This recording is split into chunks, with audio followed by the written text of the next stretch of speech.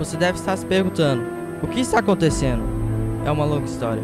Você já pensou o que seria da sua vida sem água? Em um futuro recente, a sociedade está vivendo um caos devido à escassez de água pela ambição de governantes.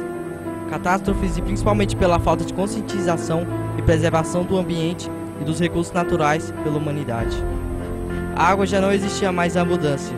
As pessoas mais carentes já estavam até matando umas às outras à procura da água. Já não existia a abundância da água doce, bebível e potável. As poucas fontes que restaram eram controladas e apenas distribuídas para os mais ricos e poderosos.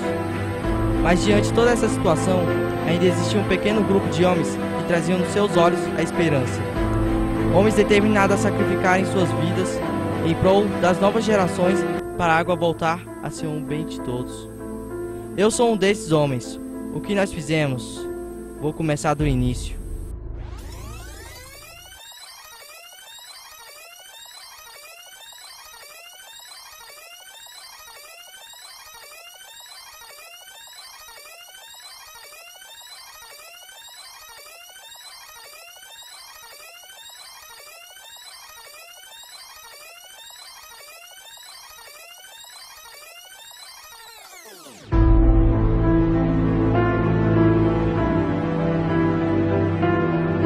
Depois de anos estudando, conseguimos invadir a central de distribuição de água.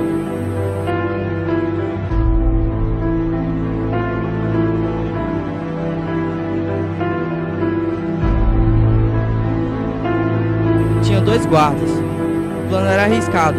Nós sabíamos que poderíamos morrer.